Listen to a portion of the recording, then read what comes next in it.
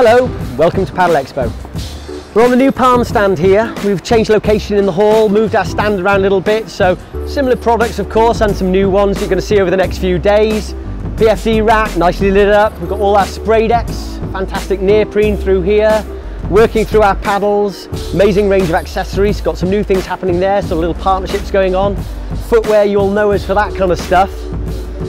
Jackets, beautiful colours, beautiful cuts, all working along there. Some new stuff for the kiddies coming in here.